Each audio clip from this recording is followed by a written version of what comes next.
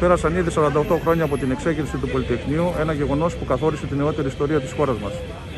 Τα συνθήματα πέντε δεκαετίες μετά από την εξέγερση παραμένουν διαχρονικά και ταυτίζονται με τις διεκδικήσεις της κοινωνίας και του εργαζόμενου του 2021. Πολλές οικογένειες αυτή τη στιγμή βρίσκονται κάτω από το όριο της φτώχειας και αναζητώντας ένα κομμάτι ψωμί. Η νεολαία παλεύει και αγωνίζεται για ένα δημόσιο δωρεάν σχολείο, για μια δωρεάν δημόσια παιδεία. Η κοινωνία παλεύει για διατήρηση των κεκτημένων δικαιωμάτων αιώνων, καθώς και κάθε μορφής ελευθερίας. Η πραγματικότητα έμεινε όμως όλο και πιο σκληρή και πιο ζωφερή.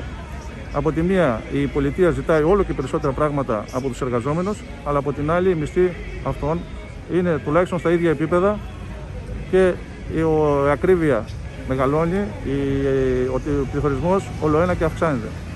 Καλούμε τους συναδέλφους, τους συμπολίτες μας που είναι ανεμβολίαστοι να εμβολιαστούν, καθώς και την κυβέρνηση να στηρίξει το Εθνικό Σύστημα Υγείας γενναία. Μέχρι πότε, κύριε Πρωθυπουργέ, αυτοί οι άνθρωποι δεν θα είναι στα βαρέα και ανθυγιεινά.